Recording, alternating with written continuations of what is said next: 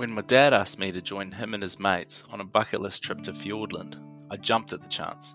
I had heard a lot about this place, but never really understood just how magical it truly was.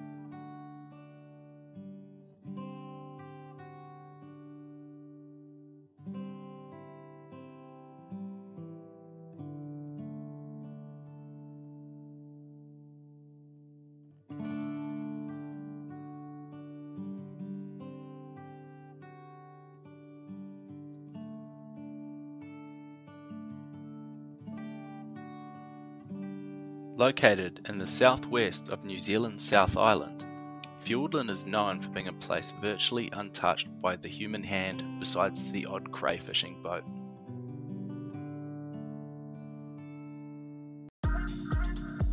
Starting our journey with a quick 6am mince and cheese pie breakfast at the Te Bakery, we were picked up and taken on a spectacularly scenic drive to the ferry by the legends at Cheeky Kiwi Shuttles.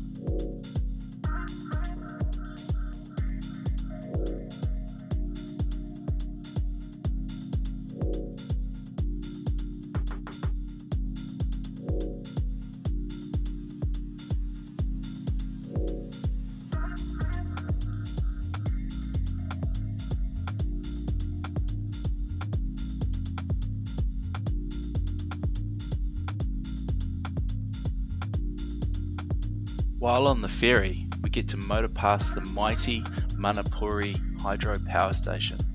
This beast of a power station generates enough power for 619,000 New Zealand homes. From there, it's a short van ride to the boat.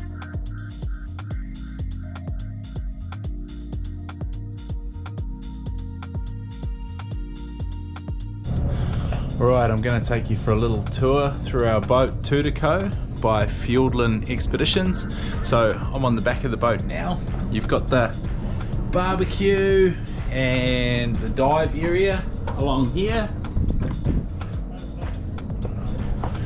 And then we go through one toilet with a hot shower, which was very necessary when you're uh, when when you're diving in the snow. And then you got the galley another toilet, and then you got the living quarters. Hey lads. I'm thinking about the oven. Oh yeah, there, back there's the oven that sometimes works. And then you got up here where the skipper does his business and kind of steers the boat. And then down here is where everyone sleeps. Downstairs, you've got eight bunks. Hey Jackie. Hi. All right, so- easy to make, just like any caravan bed. Eight bunks, and then you've got where our chef Jackie slept, a and a running fire which kept us nice and warm. After a short bumpy ride in the open sea, we motored into the fjord for some blue cod fishing. Unfortunately, I didn't get any footage of the fish, so we'll let Fred talk about how big his cod was. Shit about, Tiana, shit about that round at the head. No, no, so But Dave bigger than that, you reckon? And and probably about oh, about a, just, just over the fish bin length, mate, 'cause the tail was sticking up the edge.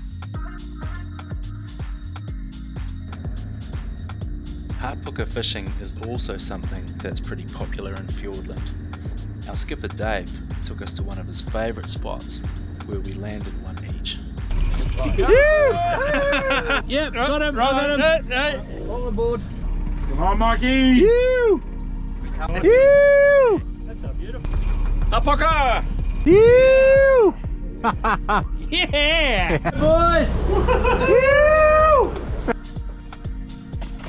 Apart from the two we had for dinner, the rest were released back into the ocean to fight another day. Nothing went to waste as we shared the Hapuku frames with the resident Seven Guild sharks, of which there were many.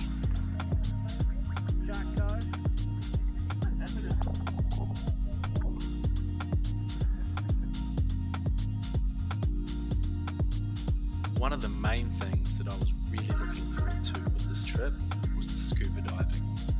Fiordland is famous for its scuba diving, not only because it has amazing fish life, but also all the crayfish. I have never seen so many crayfish in one place in all my years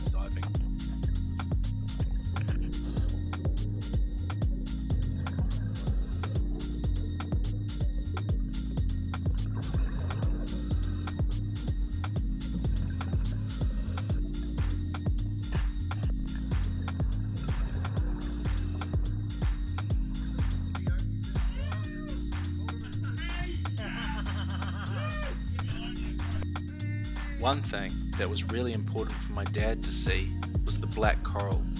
Most black coral grows at significant depth, but in Fiordland, due to the darker waters, it grows at 20 metres below sea level. After a day of fishing and scuba diving, we're all sitting around or lying around, and uh, yeah, it's snowing outside. So It's all right. It's the, it's the inversion layer with the lake being at eight degrees. And you cold, just lifts the whole lot. pretty cold out there. What do you think, Livy? Oh, bloody beautiful. One thing that I never grew tired of was the food.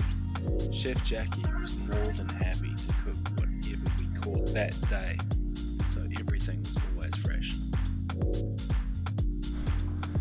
And like all good things, after five glorious nights, our trip had to come to an end, but not before the grand finale. A helicopter ride over the Fiordland Ranges back to Te Anau. So all up, everybody had a blast. But don't take my word for it. Here's what the other guys had to say. Bloody amazing. Fantastic, eh, Trip was absolutely fantastic. Diving was incredible. Uh, the scenery, the whole, the whole thing was just unbelievable. Fucking good. awesome. Bloody awesome. Yeah. That was amazing. It was great. Awesome. Trip of a lifetime. Well organised, Brian.